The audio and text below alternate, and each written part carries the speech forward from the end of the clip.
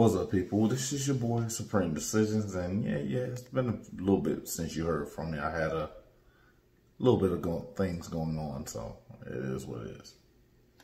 Well, today I actually want to answer a question because I get this question more often than not, and it's one where the conversation shifts to an area where it shouldn't because for me, it should be common knowledge, but it's something that you hear often. But there's a question of, does a police officer have probable cause if they say they smell marijuana? Well, here's what happened in this year of 2014. Yeah, 2014. I often tell you that probable cause exists when it's tangible. Tangible means it's something that you can touch. You cannot touch a smell. Now, what happened in 2014, which actually goes along with this, is this thing called the Marijuana Possession Decriminalization Act of 2014 and it went into effect July 17th of 2014. This actually decriminalized the possession of marijuana, even if it's in someone's conveyance. But then there's this thing called the Fifth Amendment, which requires somebody to be protected in their persons as well as their property.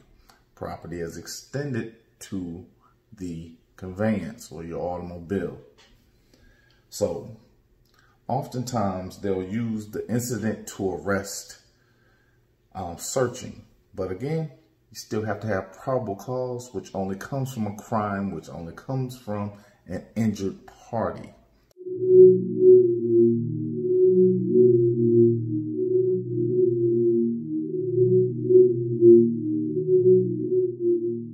Someone you can confront. Remember, confrontational, uh, you have the right to confront your accuser. You know, I keep getting into that, but it keeps running into the same thing. Oh, because I keep reinstating what a crime is. But anyway, one of the things that goes along with this is the incident to arrest generally deals with exigent circumstances. Well, I did a video way back when that dealt with exigent circumstances. And I'm actually going to put that up back there. But what happens is most of us have no idea what an exigent circumstance is. So when there's an incident where you're asked to get out the car, there are no longer any exigent circumstances. If you are not within arm's reach, there's no potential of you destroying evidence. If the conveyance is in park, there's no potential of the conveyance itself leaving the area without being able to get a warrant.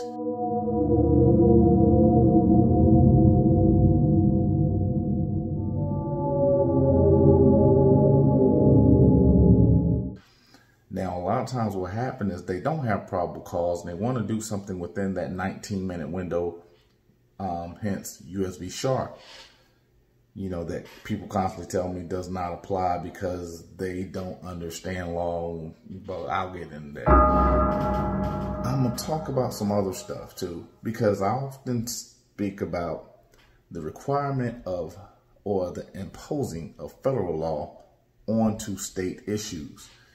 And even in Terry v. Ohio, they have to tell you the actual crime.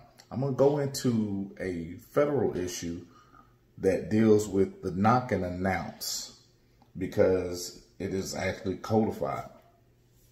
But these are part of those things because if there are no exigent circumstances, if there's not a complaining witness, they don't have probable cause from a smell. They still have to get permission either from you or from a judge. Now, here's the problem. Like you, I also have the inability to remain silent when one of these people are standing in front of us. It is what it is. I accept it for what it is, and I love me for me.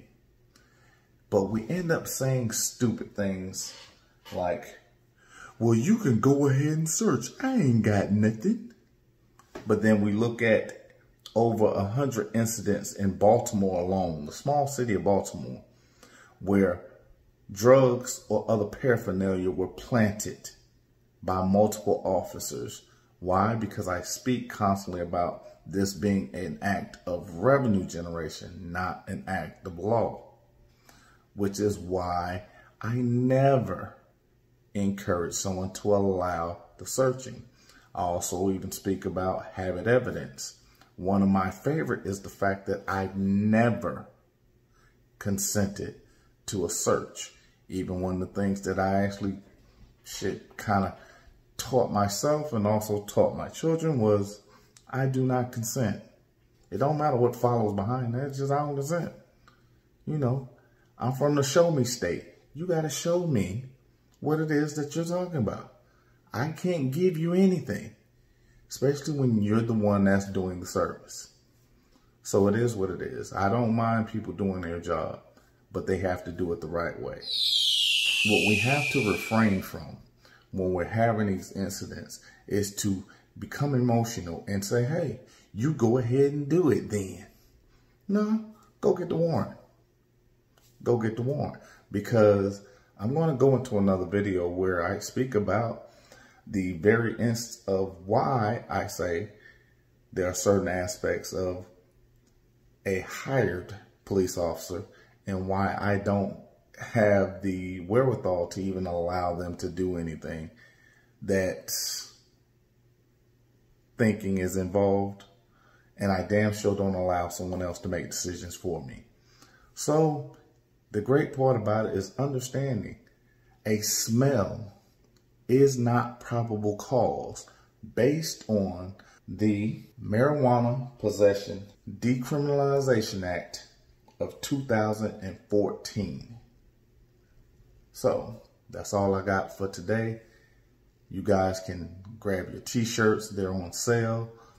You can also support the podcast. 99 cents, 4.99 or 9.99 on the first of every month. Join one of the tiers. The masterclass is 100 bucks a month.